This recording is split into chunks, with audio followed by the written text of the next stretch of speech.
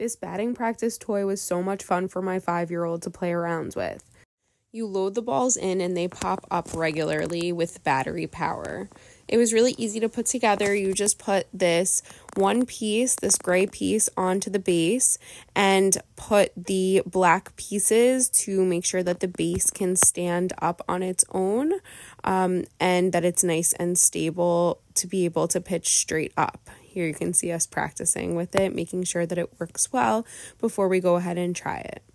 So here is how we practiced with it. So I made sure to keep my face out of the way when the balls were loaded because it does pop them up pretty quickly.